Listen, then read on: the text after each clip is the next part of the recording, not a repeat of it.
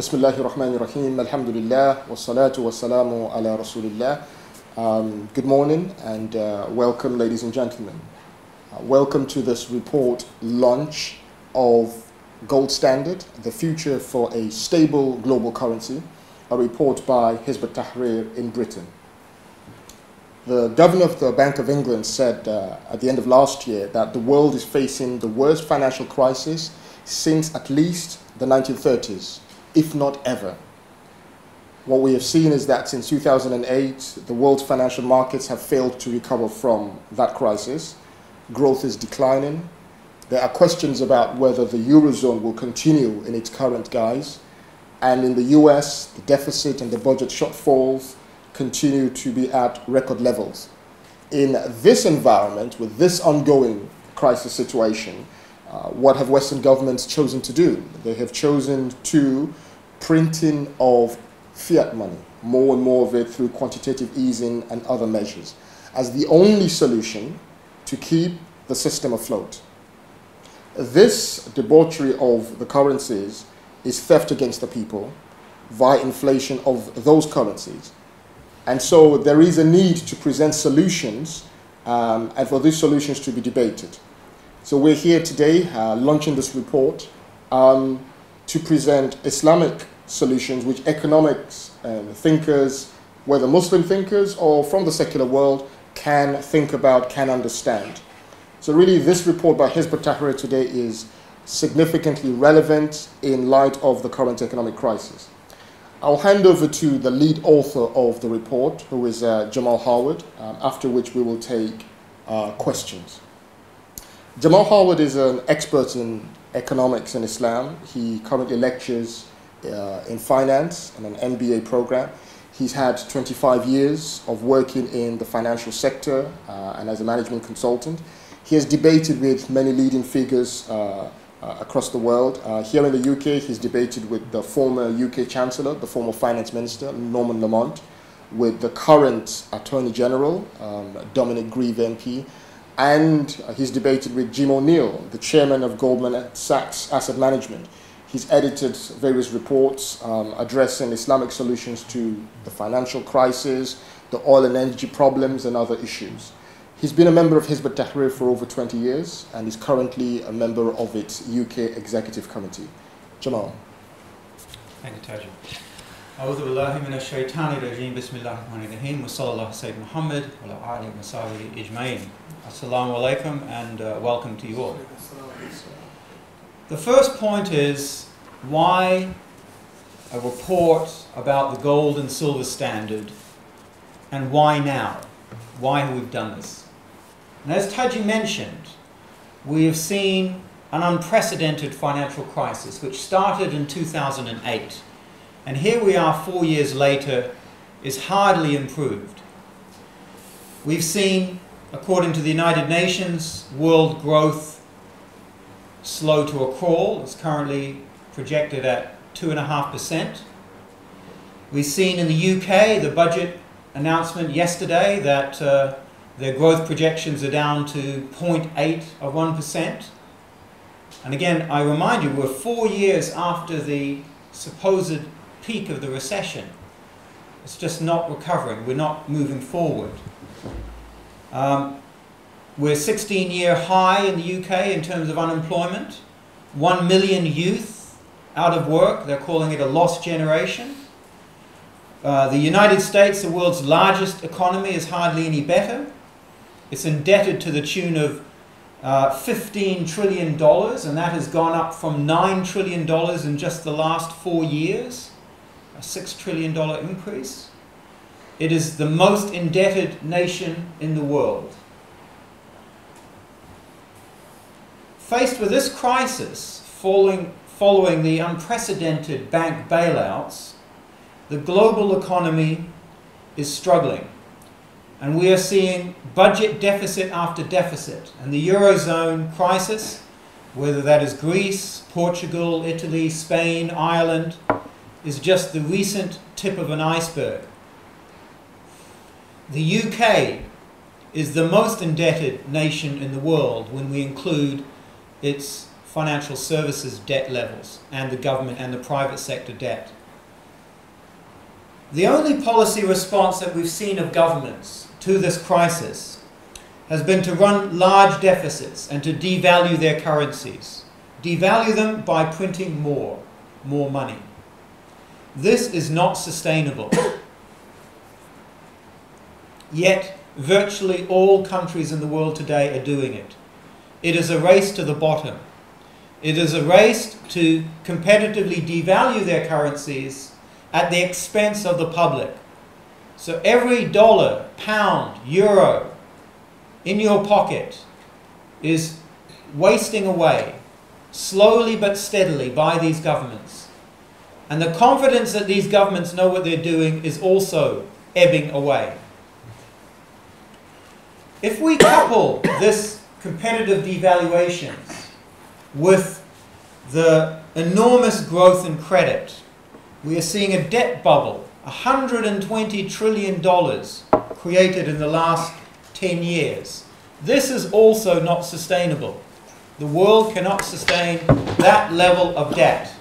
And as a consequence, is facing horrendous levels of debt deflation. Now, against this backdrop, it's important that Muslims present the Islamic alternatives to this. And this is why we have put this report together. It's been compiled by members of Hizb ut-Tahrir Britain, and it's focusing on the gold standard, in fact the gold and silver standard, as the future for a stable global currency. In this report, there are two key elements. Firstly, we tackle the 10 key arguments which are most often used against the gold standard. So, for example, the charge that it is inflexible and that in a, deflationary cycle or in, in the downturn in the business cycle, it's important to have the flexibility that fiat money gives you in terms of money printing. Exactly the problem that I've been highlighting. They also argue that gold and silver standard leads to high levels of deflation. Again, we present in this report evidence that that is not the case. And historically, over the past decades, when we had the gold standard, levels of deflation, uh, whilst they did exist, were small relative to uh, inflation. So we saw much lower levels of inflation and also much lower levels of deflation. The argument that there is insufficient gold or silver reserves in the world, we present the case that it's not the, the position, it is merely that we have too many dollars in the world. The argument of the cost of the gold and silver standard compared to maintaining paper or fiat currencies. Again, another myth that there's a well developed mining industry which is working full time in extracting gold and silver from the earth because it has intrinsic value and that value is not going to go away anytime soon. And also the arguments about the compatibility of the gold standard with a fiat money system. Well, most importantly is compatibility with an interest-based banking or fractional reserve system, as we say. And again, we argue strongly from the Islamic perspective that yes, they are not compatible, and that if you are going to maintain an interest-based banking system, you are going to uh, perpetuate the misery that we're in at the moment. And it is definitely not compatible with the gold and silver standard. And again, we present arguments as to why the gold and silver standard is far preferable. And lastly, we talk about Gresham's law, that good money will force out bad money. In fact, this is, this is a positive argument for the gold silver standard rather than an argument for these constantly devaluing uh, paper currencies. The second point that we talk about um, is, again, from the Islamic perspective. And it, it is absolutely critical that uh, people understand that the gold and silver standard is, an intrinsic part of the economic policy of the Islamic State, of the Caliphate, the, the, uh, the global Islamic State, as, as it is uh, uh to be uh, brought back again. The key features of that gold and silver standard within the Islamic State are that it is a, a bimetallic standard. It is gold and it is silver. And these are freely transferable within the state, freely ownable, and the public has the right to own those, those assets in any form. If the state is going to issue paper currency, which it is allowed to within Islamic laws, that paper currency must be 100% backed. So we do not see fractional reserve gold standard or gold and silver standard in Islam. We see a 100% backed gold and silver standard. Thirdly, as I mentioned, it is non-interest based, and this is absolutely uh, critical in light of this global growth of debt in the West. And to maintain a balance in one's economy, one cannot be constantly increasing money supply via an increase in debt or via an increase in money uh, via central bank activities. And lastly, that this credit creation or fractional reserve banking, as people put forward, is also unacceptable according to Islam and has created this instability that we are suffering from now. So in conclusion, I hope that you take the opportunity to read the report. It is downloadable from the website. You see the website, it's uh, thegoldreport.co.uk.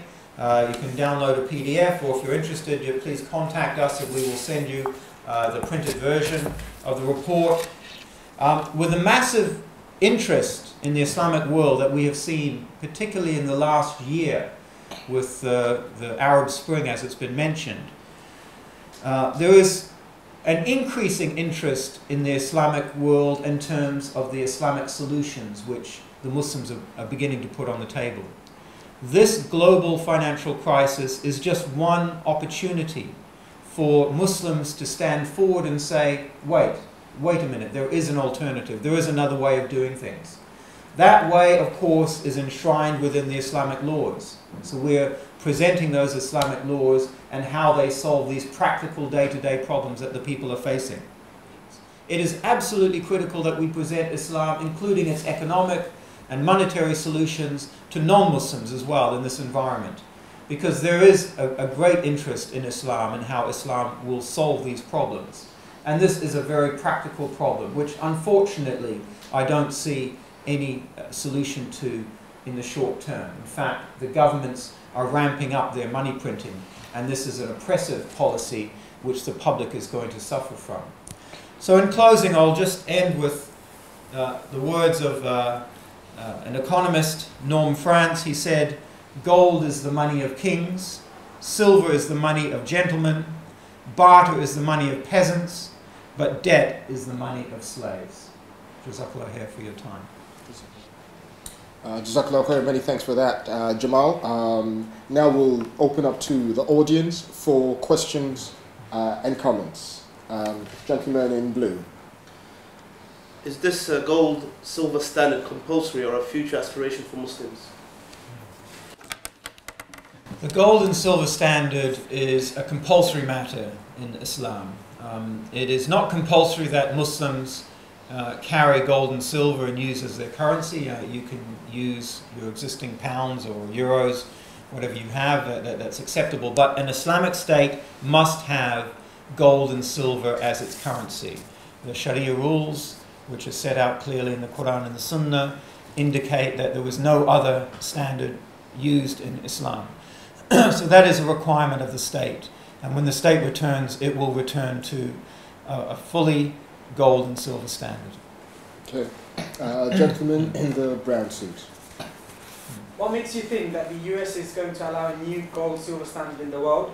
They did away with the last gold standard in 1971 and have done well out of the US dollar as the world standard.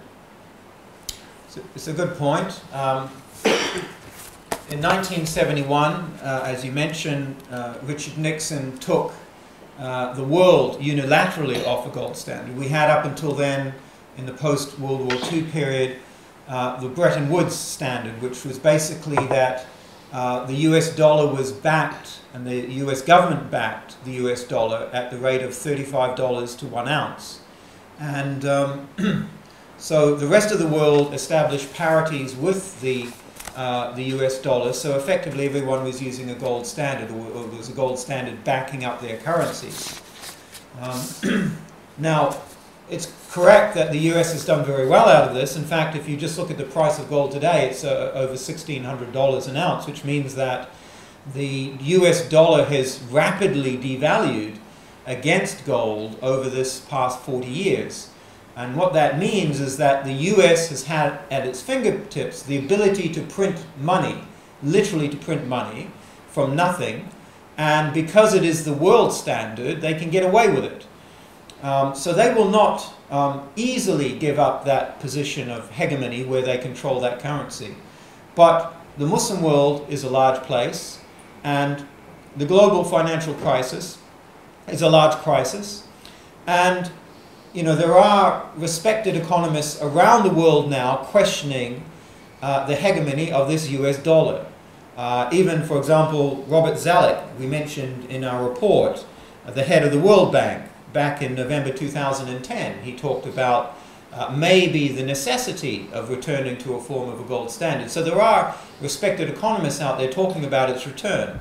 So I think America is not willingly going to be led down this path because they benefit too much from uh, what they've been doing with this, this uh, gold standard at the expense of everyone else, I might add, and, and indeed all these other governments which, which are, which are follow, following this policy. But the Muslim world needs to take a lead, and I think the Muslim lead is uh, the Muslim world is in a strong position to not only establish Islam, um, but to establish a, a, new gold and silver standard. And I think that will be like a beacon of light to the rest of the world. Okay. Uh, gentleman at the back there. There is a concern in some quarter over the location of gold reserves in the US and UK. What makes you think that fund uh, reserves in the Muslim world are sufficient and available for a new gold standard. Okay, so questions about reserves in the Muslim world. Yeah, I, I think the, the point is, is that with the rapid uh, decline in the value of these currencies, and, and, again, we just need to look at quantitative easing. It's just a fancy word for uh, printing money. And now that the world has sort of caught on to the fact that quantitative easing is not a good thing, you know, the government is, the governments are using other terminology. We've seen currency swaps between uh, the European Central Bank and the US. Uh, we've seen uh, the Americans using what they call Operation Twist, which is changing the yield curve in terms of, you know, purchase of their bonds at, at, at the longer uh, end of the, of the yield um, market. So what's happening is there is a growing uncertainty about the value of these paper currencies, which means that the new focus is beginning to be, well, where, what, what do we have in return? And of course, governments know that they have gold. Even George Osborne yesterday highlighted that the British government has 11 billion pounds worth at, at today's rates uh, of gold in reserves, which of course he was making the point that Gordon Brown sold off a lot of, of, of Britain's gold reserves 10 years ago. So the issue is, is that there is now heightened concern around the world as to where these gold reserves are being held, particularly since the Americans um, hold a lot of those reserves. They hold a lot of uh, European gold, some of the German gold reserves as an example. And there's concern that maybe in a hyperinflationary period, everyone will need to return in distress to a gold standard. This is not what we're calling for. We're calling for a uh, a measured return to a gold standard, um, that there will be concern over that. If we look in the Muslim world, there is substantial worlds throughout, uh, substantial reserves throughout the Muslim world, and we don't believe that that is a problem. But ultimately, you have to look at gold and silver as commodities, and those commodities are available on the, on the world markets. So you have to uh, keep a close eye on those world markets and, and, ensure that you're in position to maintain the reserves that you need. Uh, gentleman in front. Is gold currently over or undervalued? And what exchange rate do you expect this Islamic dinar to be worth on today's money? It's a good point. Um, it, it's not for us to try and assign values because what we're trying to do is if, if you look at the price of gold today, and you can look at a price of gold any minute of the day uh, around the world in, in yen and pounds and euros and dollars, in fact, any currency. Uh, but the point is, I would, I would tend to say that if you look at the amount of money printing that has been going on in recent years, the, the stock of that money has yet to really be reflected in, in the price of gold and silver and some of these commodities. I believe it will do because um, in, in an environment in which uh, economy is not recovering, uh, where is the money going to go? It's either going to go into the equities markets or it's probably going to go into the commodities market because the bond market is, is now at a sort of a turning point. So uh, the, that flow of money which has been created is going to start flooding somewhere, which, which is probably going to start flooding into the, so the commodities market, including gold and silver. So I would expect it to rise. But that's not the point. The point is, is that when you have a fiat paper system which is not backed by gold or silver, governments can print as much as they like, which means the public is going to suffer. And the mere fact that gold has gone from $35 an ounce to over $1,600 an ounce in the last 40 years tells you that it's out of control. That's more than a 10% growth rate. Gold is not going up in value by 10% every year. The dollar is devaluing by more than 10% every year. And I think that that is accelerating. It is getting worse. In fact, the last 11 years we have seen substantial increases in the price of gold for that very reason, that the amount of money printing is completely out of control. Okay. Um, gentleman in front. Will a new gold standard herald the massive price deflation? There is an argument, and again, we deal with this in the report. Um, for example, when UK, after World War One, went back onto a gold standard, there was, there was a period of, of uh, price deflation, quite, quite heavy. But they got the value of the, of the gold at which they went back onto, they got that very wrong. So obviously there has to be a valuation put in terms of the conversion of, of the paper currency into the gold silver standard. And, and they used an old rate, which was obviously overvalued it for, for, for where they were, so that caused uh, deflation.